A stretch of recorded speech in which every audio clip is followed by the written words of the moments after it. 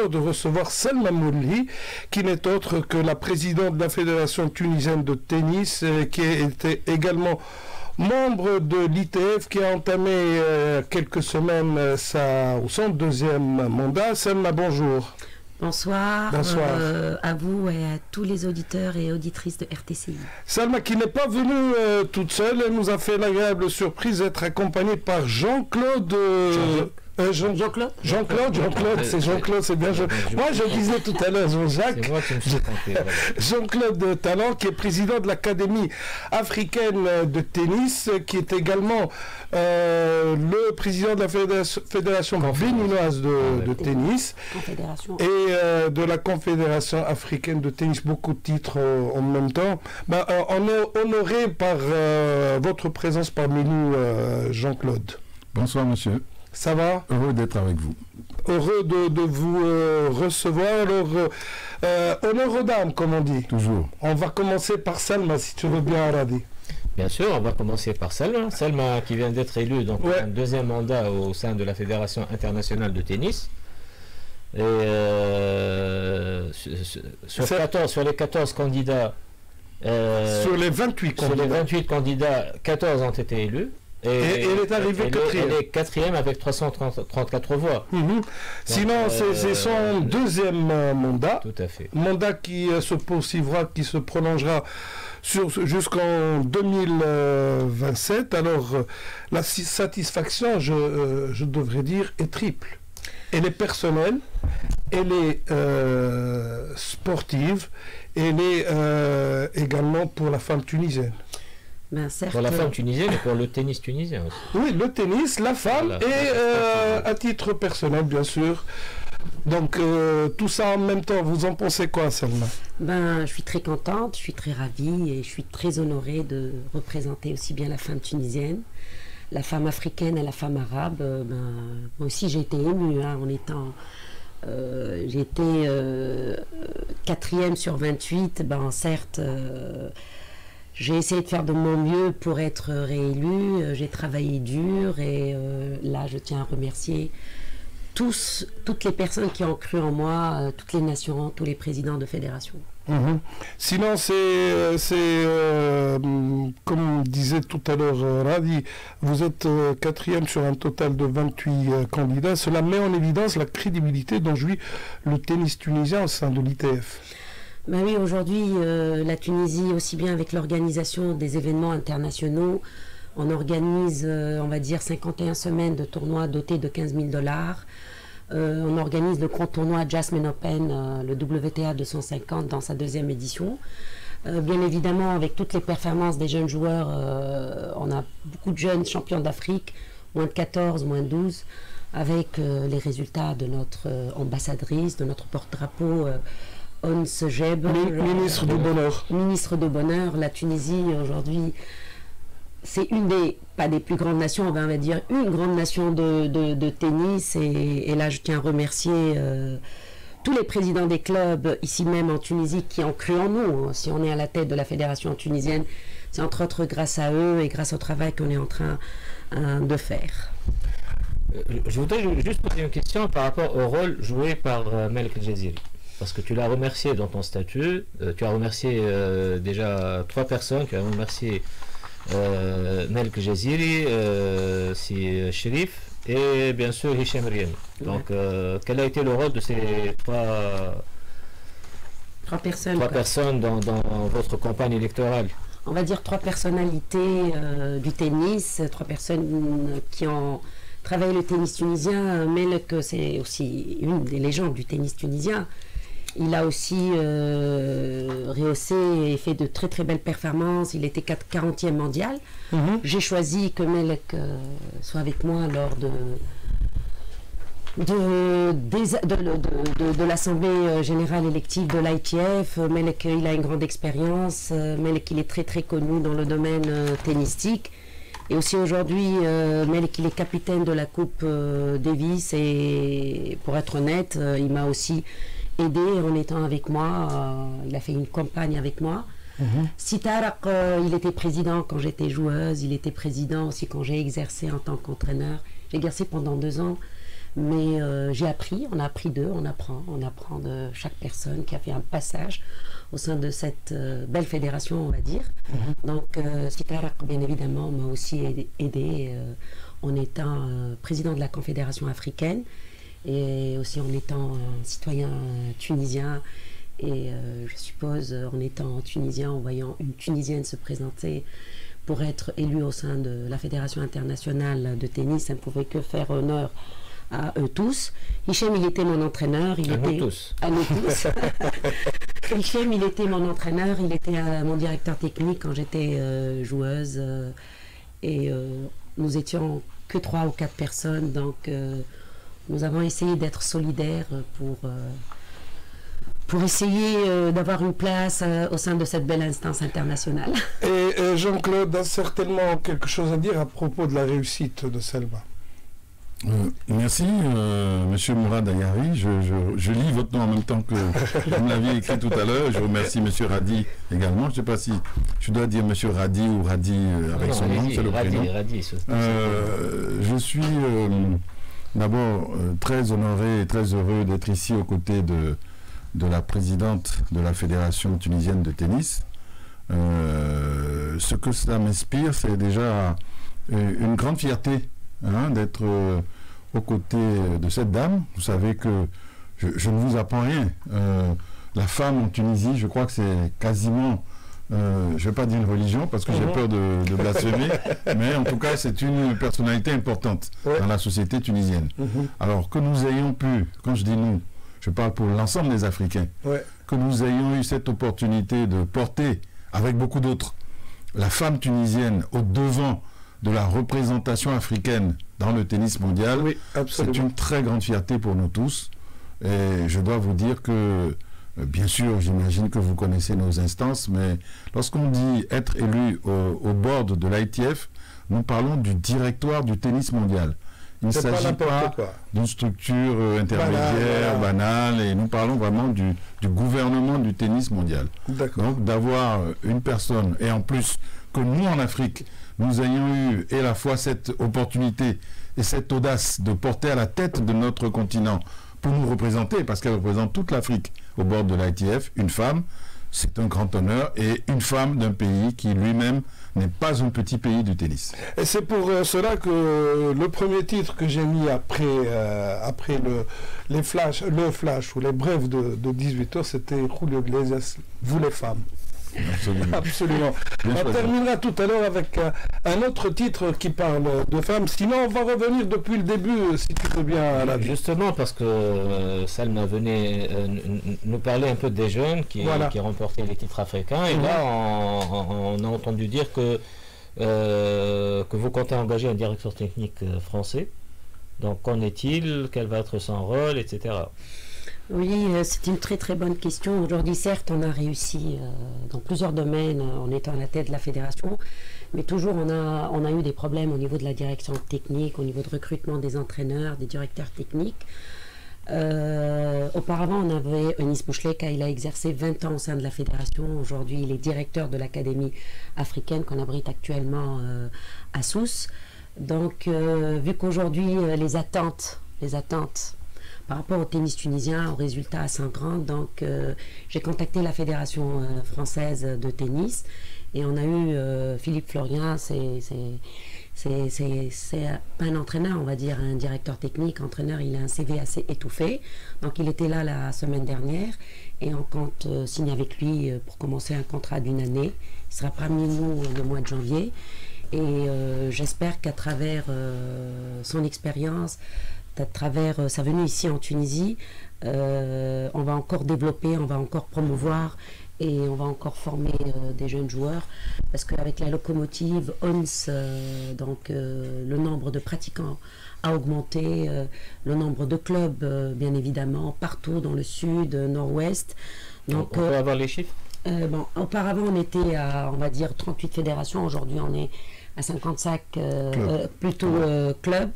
Mais on a décentralisé le tennis. Auparavant, la majorité des clubs étaient à Tunis. Aujourd'hui, mhm. si on va le Sahel, on en est vers 15 clubs. Le Sud, on a deux clubs à Gabès, à Touzer, à Sidi Bouzid, à Gerba, on a trois clubs, à Jersey, à Medina. C'est des clubs, quand on dit club, il ne s'agit pas de l'Espérance ou de, de l'Étoile. C'est des clubs de tennis avec des terrains de tennis indépendants. Et euh, ils sont un peu partout euh, en Tunisie.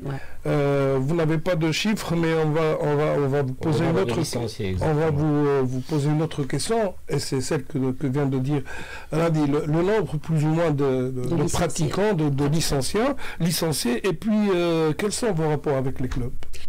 Euh, très bonne question. Aujourd'hui, pour réussir et pour pouvoir rehausser le niveau tennistique euh, ici en Tunisie, il faut en premier lieu avoir une très très bonne relation avec euh, les présidents des clubs.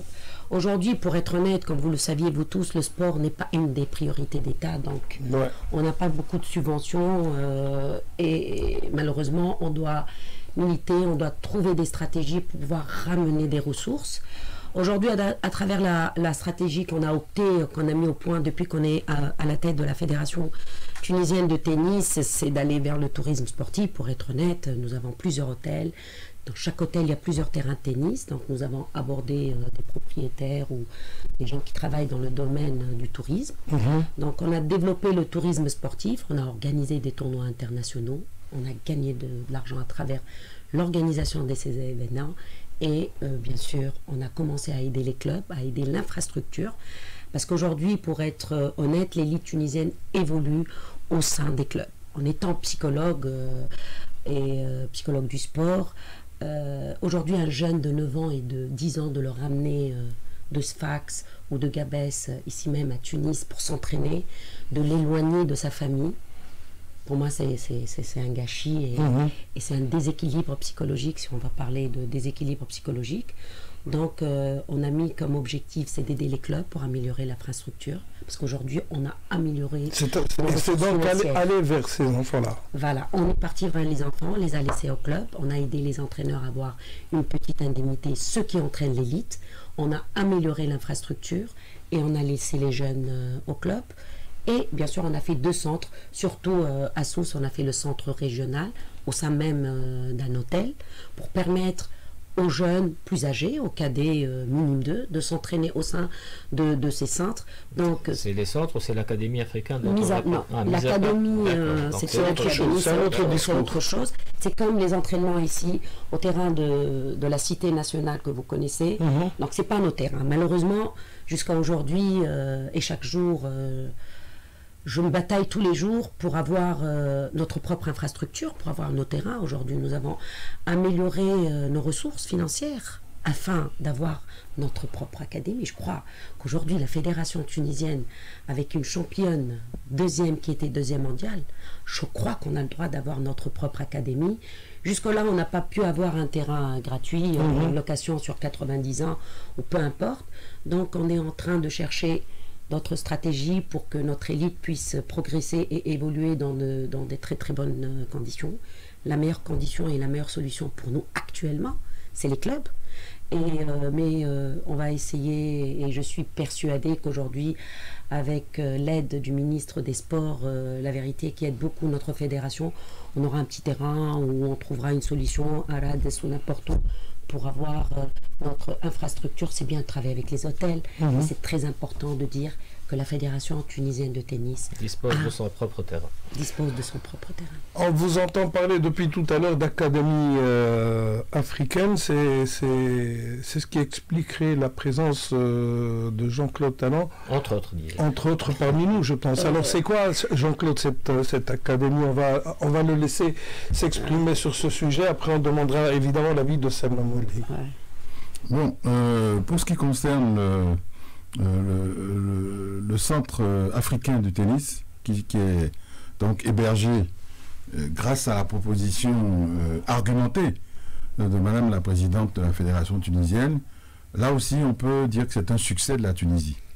Parce que moi je suis à l'aise aujourd'hui en ma qualité de président de la Confédération africaine, donc mhm. représentant toutes les fédérations africaines de tennis, après mon illustre aîné et ami Tarak Sherif, je suis à l'aise pour dire que obtenir de, je dirais, de la communauté tennistique mondiale, parce que c'est l'ITF et toutes les instances qui décident, que ce centre africain du tennis soit confié à la Tunisie, c'est déjà là aussi une performance de la Tunisie et de la présidente de la fédération tunisienne. Parce que vous ne le savez peut-être pas, mais il y avait plusieurs pays en compétition. D'accord. Dont l'Afrique du Sud, dont l'Égypte, qui, qui avaient à faire valoir des arguments tout aussi puissants plus valables. et peut-être même plus en matière de, de, peut-être de, d'infrastructures de, moyens, mhm. peut-être plus puissants que ceux de la fédération. Aussi, exactement, plus que la fédération tunisienne.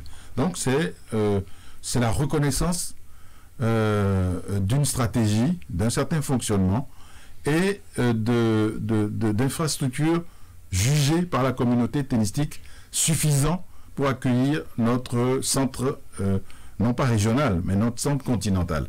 Parce qu'en réalité, il s'agit d'un centre continental. J'ai eu la chance de participer à la décision, il y a une dizaine d'années, qui avait fait passer le centre régional de notre zone ici, qui venait jusqu'à euh, l'Afrique du Nord, qui était basé à, Dakar. Mhm. Lorsque nous avons fait, nous avons décidé tous ensemble avec la fédération sénégalaise de faire passer le centre à, Casablanca à l'époque, c'était euh, pour être un centre continental, puisque les autres centres avaient été fermés pour des raisons d'organisation au sein de la famille tennistique. Donc que ce soit Pretoria, que ce soit Nairobi ou que ce soit Bujumbura, les centres avaient été euh, orientés vers un centre unique qui se trouvait à Casablanca. C'est de ce centre de Casablanca que nous venons de migrer vers Sousse. Donc nous sommes dans un centre continental et je le redis encore une fois, c'était le choix de la communauté compte tenu de divers atouts que la Tunisie avait présentés. Alors ce centre, évidemment, s'occupe des jeunes de 13 à 18 ans, je vais dire. De toutes les nationalités. mais avec euh, euh, la trajectoire euh, que la Tunisie a aujourd'hui dans son tennis national, il est évident que ce centre continental va progresser lui aussi. J'ai rencontré aujourd'hui pour la première fois M. Anis, dont j'ai oublié le nom. Anis Bouchleka. Anis Bouchleka. Eh bien, ça me confirme ce que j'ai annoncé dans moi-même, euh, mon, programme et dans ma campagne pour devenir président de la Confédération africaine de tennis, cela me confirme que nous avons des expertises locales. De très grands experts. D'ailleurs, j'ai appris que M. Anis a été euh, officier de développement euh, de l'ITF en Asie pendant plusieurs années. Ça veut dire que c'est une expertise reconnue par l'ITF pour l'avoir proposée, pour l'avoir, je dirais, prêtée à d'autres confédérations continentales. Aujourd'hui, nous récupérons notre expert et nous le gardons pour nous-mêmes. Donc c'est une belle démonstration de ce que nous savons faire en Tunisie et en Afrique. Maintenant, euh, les, structures de développement sont de tous ordres. Ce dont parle la présidente, c'est que le niveau de développement, je ne sais pas si on se rend compte ici à quelle vitesse euh, Mme Salman Mouali est en train d'aller. Parce que faire le nombre de cours qu'elle est en train de réaliser dans les différentes régions, ce qu'elle appelle. C'est une Ferrari. C'est une Ferrari. ce qu'elle appelle décentralisation, je trouve que moi, c'est un mot trop timide pour décrire, j'allais dire, une expansion très très importante du tennis dans toute la Tunisie. Et ce mouvement-là va forcément impacter la Confédération africaine que je représente ici, mais va également impacter tout le continent, bien sûr. Puisque de ces différentes, euh, de cette progression tunisienne, euh, il y aura d'autres émules. L'Afrique de l'Ouest, dont moi je viens, va copier l'exemple tunisien. Mhm. D'autres pays qui sont en dehors de notre continent sont en train de solliciter Mme Oueli pour copier son modèle. C'est vrai que la Tunisie, encore fallait-il identifier ce potentiel-là, la Tunisie dispose d'un parc touristique très très intéressant, vous connaissez mieux l'histoire de votre pays que moi, mhm. qui fait que les infrastructures disponibles en matière touristique, en matière d'hébergement, mais également en matière de, terrain de tennis, pour peu qu'on y mette un peu de volonté, c'est ce qui est en train d'être fait, eh bien ça permet tout de suite de mailler tout le territoire national. Et cet exemple et cette euh, euh, coordination entre tourisme, euh, compétition, hébergement, et cette alchimie qui est en train de prendre fait aujourd'hui que je pense que d'autres régions et d'autres pays vont emboîter le pas à la Tunisie et nous allons pouvoir développer de très grandes activités. Maintenant, pour parler des académies, je ne sais pas si vous faisiez allusion à celle qui m'est chère à moi en tant que responsable par ailleurs de, fédération. Euh, euh, les académies, il y en a de, plusieurs ordres. Il y a les académies nationales, d'accord Alors pour les plus jeunes peut-être, que chaque pays peut et doit développer selon euh, les centres nationaux que l'ITF nous recommande de promouvoir. Mhm. Mais il y a également les académies de tennis. Il peut y en avoir plusieurs par région ou par pays. Mais nous, au niveau du Bénin, nous sommes en train de faire la promotion d'une académie de tennis pour les 10-13 ans. Donc pour les toutes jeunes pépites, mais de toute l'Afrique entière, pour que justement, à l'issue de leur parcours dans notre académie, ces jeunes puissent aller à Sousse ou ailleurs, parce que Sousse n'est qu'un début. Je suis sûr que ça va prendre une autre dimension. C'est une académie africaine. c'est un, centre, un centre de haut niveau de, tennis africain. De 13 à 18 ans. Et Il va, elle va héberger les, les champions les meilleurs. C'est notre ambition. Actuellement, euh, il y a eu un contrat entre nous-mêmes en tant que fédération tunisienne et la fédération internationale.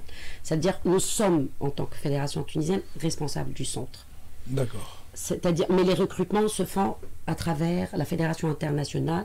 Il y a un comité qui recrute les entraîneurs et les meilleurs joueurs. Donc là, actuellement, nous avons 16 joueurs. D'ici janvier, on aura 24 joueurs, les meilleurs de toute l'Afrique. Actuellement, c'est le seul c'est la seule académie continentale, qu'on vient de la signer, euh, mon cher ami, euh, abritée ici même à Sousse. Si je peux me permettre, euh, les jeunes de 13 à 18 ans, qu'est-ce qu'ils vont faire à part le tennis? Alors, ils font des études en ligne, c'est le système CNET, c'est l'école américaine, c'est pas l'école française, ils ont choisi l'école américaine parce que c'est par rapport à l'aménagement horaire de l'enseignement. Ils ont leur propre restaurant avec un nutritionniste, ils ont une salle de fitness. C'est en quelque sorte un lycée sportif. C'est un lycée sportif. On a pris un pavillon. Tout en mhm. étant à l'hôtel, on a pris un pavillon à part. Ils ont des terrains tennis vue mer un endroit, c'est pas parce que c'est à Sousse ou c'est pas, c'est un endroit réellement, c'est un endroit féerique. Euh, j'étais là, on vient de venir de Sousse. on vous dites c'est pas parce que c'est à Sousse, c'est pas parce qu'il n'y a pas d'habitants de Sousse. Il est de Sousse. Ah, je ne savais pas. Il va dire c'est parce que je suis de Sousse, c'est pour cela qu'elle est en train de nous flatter là.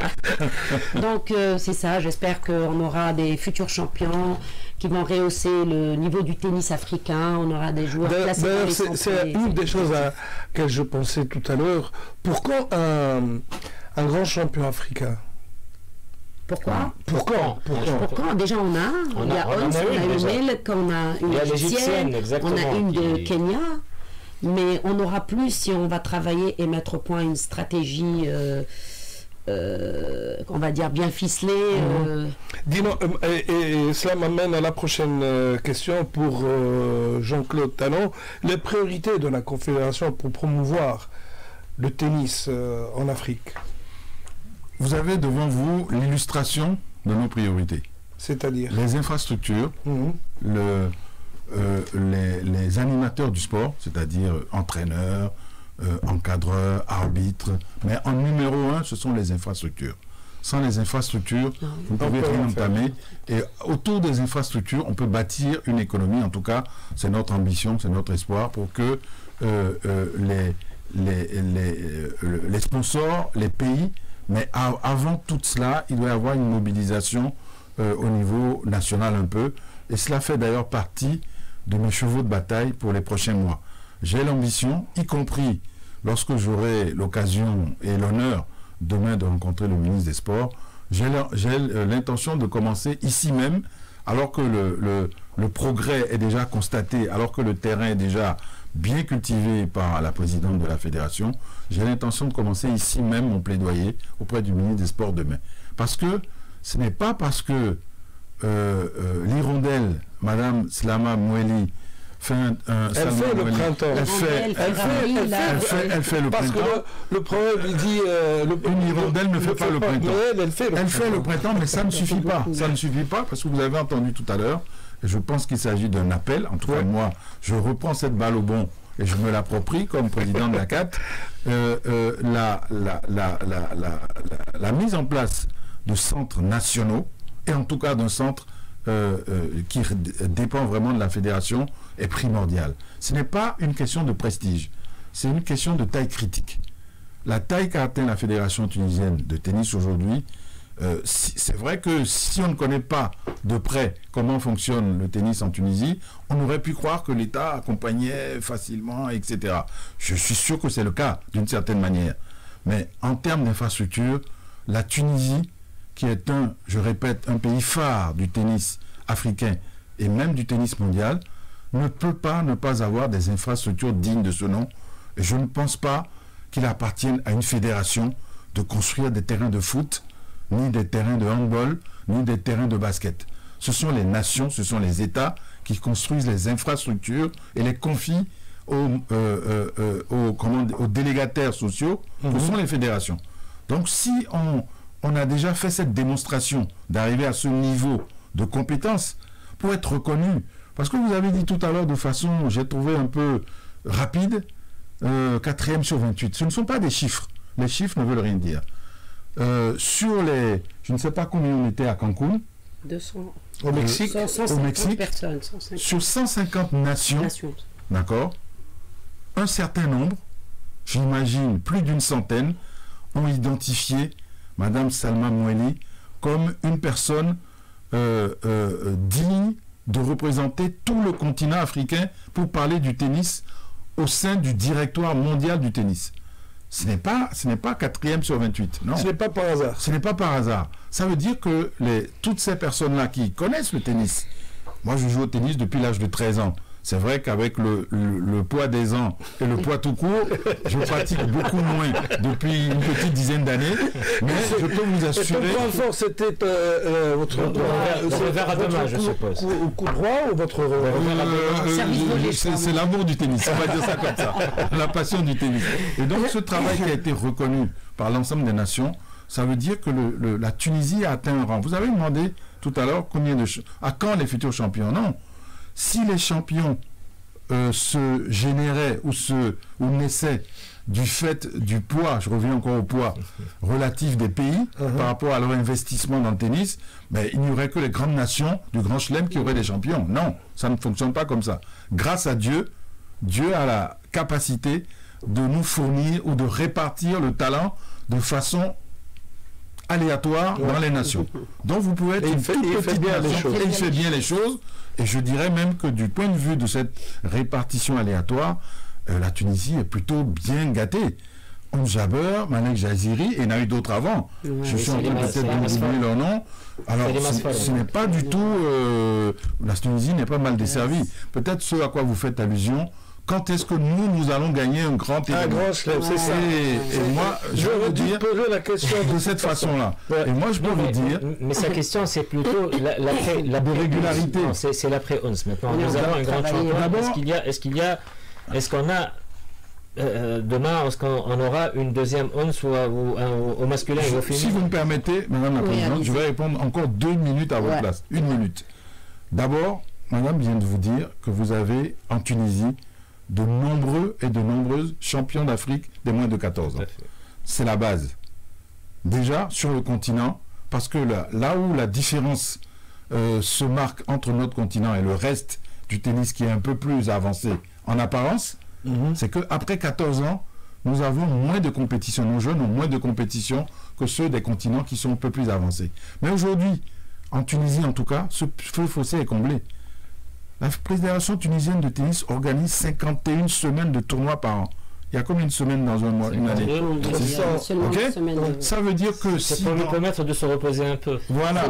Donc ça veut dire que si dans la, dans la zone 1, ce que nous appelons la zone 1, Mauritanie, Algérie, Tunisie, Maroc, Égypte, uh-huh. si dans cette zone, le, le, nous intensifions et, structurons mieux la, la chronologie des événements, si dans la zone 2, on fait la même chose dans la zone 3, dans la zone sud et dans la zone centre, je vous assure que dans peu de temps, nous aurons beaucoup sera, comblé, Absolument, absolument. Et ça, je pense que cette politique et ces résultats qui sont déjà atteints méritent largement que la Tunisie, euh, qui n'est pas une petite nation, croyez-moi, je viens d'un pays petit, mais qui ne se considère pas comme une petite nation, eh bien, la Tunisie n'étant pas une petite nation ni un petit pays, la Tunisie mérite, et à mon avis, je le dis de façon un peu péremptoire et un peu audacieuse, mhm. mérite d'avoir un grand centre de tennis international avec des infrastructures appartenant à la fédération de tennis tunisienne. Dieu vous entende. Alors, euh, euh, tout à l'heure, elle a dit parler. Est-ce que, on peut encore tirer profit de la présence d'Onjeb euh, au plus haut niveau pour promouvoir encore plus ce sport ben certes, euh, bon, Ons, elle a fait un très très bon parcours. Euh, c'est pas facile de se batailler chaque semaine dans un continent parfois et dans des tournois grandioses, dans des grands chelem. Mais et, je pense que les gens ne se rendent pas compte de, résultats qu'a fait Ons pour être deuxième mondial. Ce n'est qu'après, c'est dans quelques années qu'on se rendra compte, on se dira qu'à un certain moment, on a eu une grande championne qui Parce que les gens, quelque part, étaient, bon, je dis pas déçus, mais, mais parce que parce qu'ils aiment tellement Ons qu'on voulait tous qu'elle remporte ce grand chelem que, que nous attendons tous et qu'elle attend surtout. Elle a, eu, elle, a eu, elle a eu cette opportunité, mais il faut se mettre toujours à la tête. Euh, de l'athlète à la tête de la joueuse, la pression, le stress, euh, il fallait être stable émotionnellement, à savoir qu'est-ce que ça tourne dans sa tête, jouer dans un dans un central comme à Wimbledon euh, avec euh, ses spectateurs, avec les Anglais, avec les British qui sont pas faciles et qui ont elle, a, elle a eu la cote. Euh, ah bah oui. Même avec la, avec la princesse. ils ont soutenu Hans, mais elle a eu, je sais pas, c'est pas qu'est-ce qu'il a eu dans sa tête et je crois que cette défaite peut-être l'a affecté. C'est ce qu'on se disait. Mais, euh, mais connaissant Hans depuis son jeune âge, elle est forte mentalement. Elle a cette robustesse euh, psychologique et cette endurance. Il y a eu cette, défaite et beaucoup de blessures cette année aussi. il y a eu beaucoup de blessures, euh, il y a eu peut-être un peu de pensée négative, il y a eu, il y a eu des trucs qui sont passés, mais, mais, mais Hans, elle a la main, Hans elle a un niveau euh, tennistique extraordinaire. Ons, elle a un tennis varié si on la compare aux autres joueuses euh, du circuit euh, mondial. Mais Ons est aussi imprévisible. Donc aujourd'hui, peut-être qu'elle sera la numéro d'une une, année prochaine. Nous, ce qu'on veut, c'est la persévérance, c'est la continuité, c'est d'être en haut du peloton pendant plusieurs mois, on va pas dire plusieurs années. Donc ce que j'espère en tant que présidente, que, qu'elle soit euh, en bonne santé déjà en premier lieu, qu'il y ait moins de blessures et euh, qu'elle se fait plaisir, qu'elle se fait plaisir. Jean-Claude, vous aviez quelque chose à dire tout à l'heure? Alors, je, euh, nous avons eu la même conversation avec le président Tarak Sherif tout à l'heure et la présidente Salman Moueli en parlant de Hans Jaber. Mhm. moi, j'ai eu la chance et le privilège d'assister euh, notamment à ce dernier match auquel vous faites allusion à, Wimbledon. Mhm. Euh, moi, je suis euh, quelqu'un de passionné et, d'un peu audacieux, et je suis convaincu qu'une de ces prochains, un, de ces prochains mois, Hans Jaber va sortir de l'ombre. Elle n'est pas dans l'ombre, mais elle va sortir de l'ombre en termes de, en termes de trajectoire. Elle va faire quelques tournois et on n'en aura pas l'impression, on a parlé de ça il n'y a même pas une heure, elle va faire deux, trois tournois, elle va venir gagner Wimbledon ou autre chose, et tout le monde sera surpris parce que je sais que elle va, elle va le faire. C'est une femme extrêmement talentueuse. Moi, je la compare euh, un peu, si je peux me permettre de le dire ici, à des trajectoires comme celle de Goran Ivanisevic à Wimbledon. Ce sont des gens qui ont euh, des talents très particuliers. qui L'entraîneur actuel de Djokovic. Ah voilà, voilà, je n'y avais même pas pensé, mais je me souviens que Goran Ivanisevic n'a euh, pas joué pendant quelques semaines ou quelques mois, et puis tout d'un coup il est venu, il a gagné. Mhm. Je ne vois pas euh, notre pépite africaine, je ne la vois pas comme quelqu'un qui va passer trois ans à s'entraîner dans un monastère avant de gagner un grand chelem.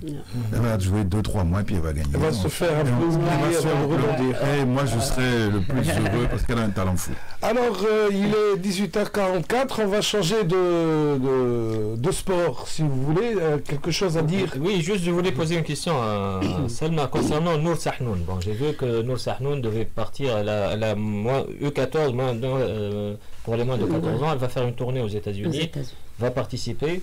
C'est une graine de championne Ouais, Nour Sahnoun, c'est une joueuse qui évolue à Grinda, Kremda.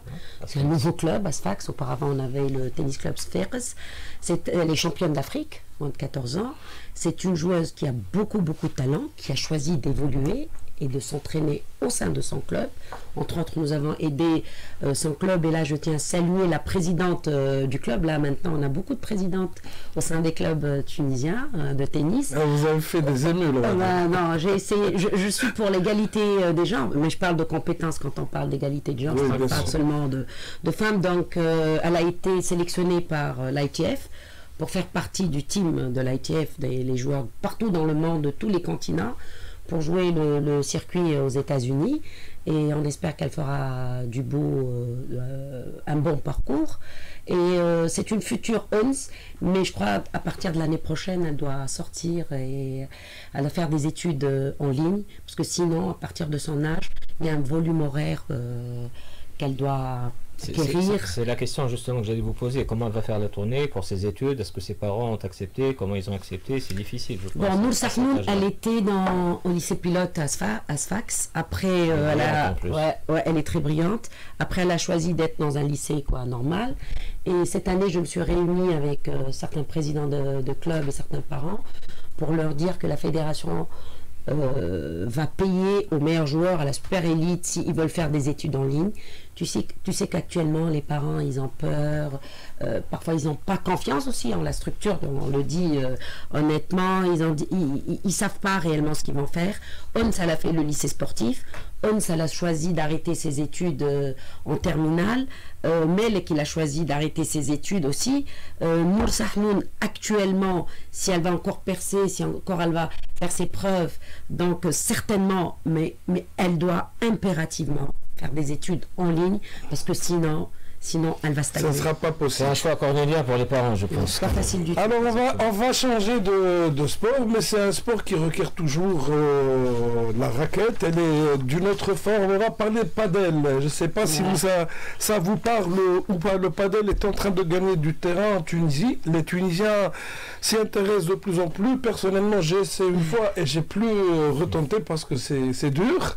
Sinon, sinon est-ce que est-ce du ressort d'abord de la Fédération tunisienne de tennis ou pas Et est-ce euh, un sport qu'on peut euh, rendre à la portée de tous et de toutes? Ben, je suis aussi la présidente de la Fédération tunisienne de padel. on vient de s'affilier à la Fédération internationale euh, de padel. Nous avons actuellement, on va dire, 12, 12 clubs. Mhm. Ben, je ne vais pas dire club, je vais dire des sociétés privées, parce que les clubs, quand on dit club, il a des adhérents, il a des licenciés, et le club, il est affilié à la fédération. Malheureusement, non, pas encore.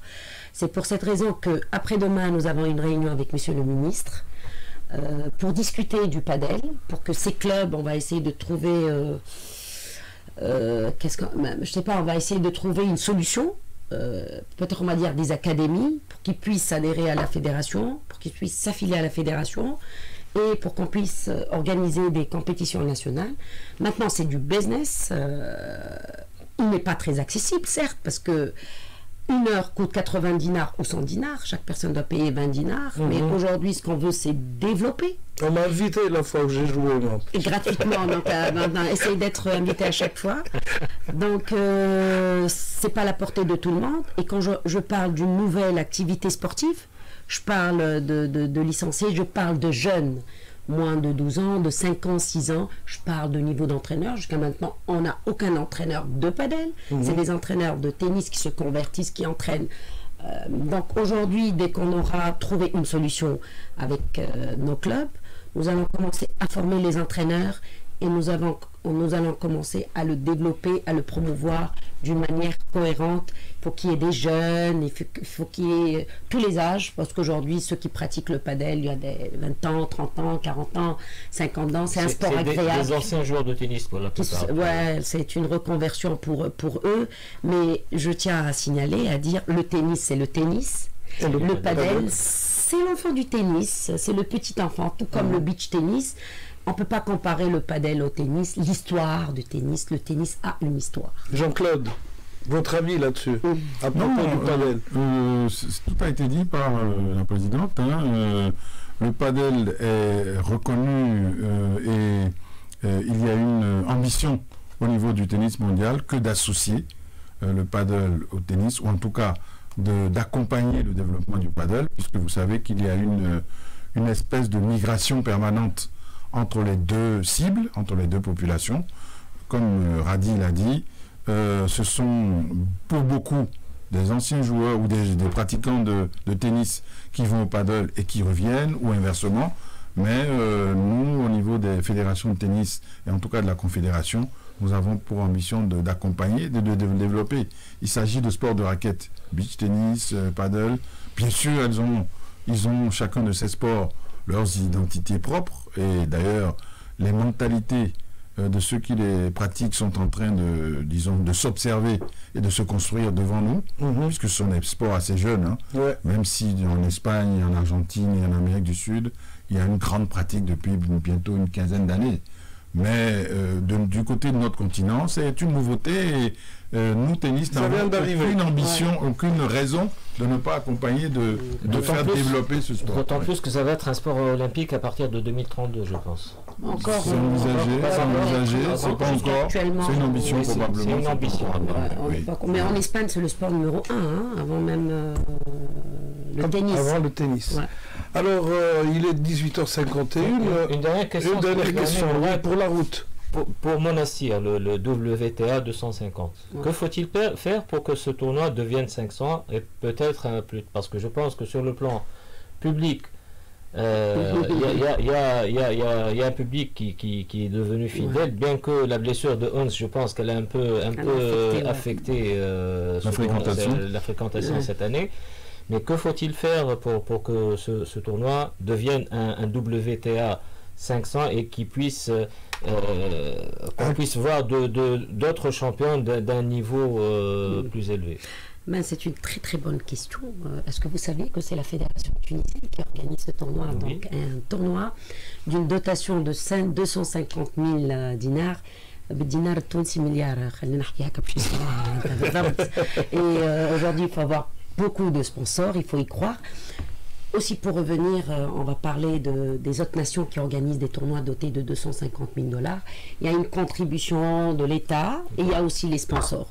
Aujourd'hui, c'est la fédération tunisienne qui organise. Cette année, malheureusement, on s'était blessé, donc on n'a pas pu vraiment tous les... vendre des billets et avoir des revenus. Et ici, je tiens à remercier euh, nos sponsors phares qui nous ont réellement aidés à organiser ce tournoi, il fallait me poser une question. Est-ce que vous allez organiser la troisième édition du w, de ah. Jasmine Open déjà? Ben, c'est pas facile d'organiser euh, un tournoi d'une telle euh, dotation. En tout cas, c'est notre volonté. On va continuer. Je ferai tout pour l'organiser. Mais il faut qu'il y ait euh, l'aide de tout le monde parce que sinon, seul en tant que fédération, ça va être très très difficile et euh, d'aller déjà, on n'a pas l'infrastructure, on organise un monastère, on souhaiterait organiser cet événement ici même à la capitale, à Tunis, il y aura plus du monde. Bon, je suis toujours positive et je voudrais bien que ça soit même 500 ou 1000. Le, mot de la fin pour vous deux en, en 30 secondes. Vive le tennis Je n'en dirai pas plus. Merci beaucoup euh, Jean-Claude euh, Talent qui, je le rappelle, est président de l'Académie africaine de tennis. Euh, qui est Confédération africaine de tennis. Pas, l'Académie. Qui Malcaf de la Confédération. vous avez dit que l'Académie de Sousse. J'étais à l'Académie. Ah, d'accord. mais sinon, c'est la Confédération, donc, africaine, de tennis, de la Fédération du Bénin également. Euh, Salma Moulhi, président de la Fédération tunisienne de tennis, membre de, l'ITF et du PADEL. Voilà. Euh, je vous remercie pour votre présence et votre disponibilité. Je croise euh, les doigts pour vous, pour le futur. Et puis sinon, à très bientôt. Merci, Mourad. Merci, merci, Radi. Merci, Radi. Euh, merci, Madame la Présidente. Merci, Monsieur. Nous, on terminera avec un titre que je que j'offre à Salman Mouli. Florent Pagny et Christophe, euh, ensemble, ils, chantent Un jour une femme. Mm. Ça sera le dernier titre pour au niveau d'aujourd'hui. Merci Faisal Haleli côté technique. Et on euh, s'excuse pour les autres sports de ah bah pour le football, on n'en a pas parlé. Ça honneur, pas au tennis Bien sûr. Merci à Sofiane Benjima pour la production digitale. En ce qui me concerne, je vous retrouve samedi prochain à partir de 15h pour le programme en langue euh, italienne. Ciao a tutti.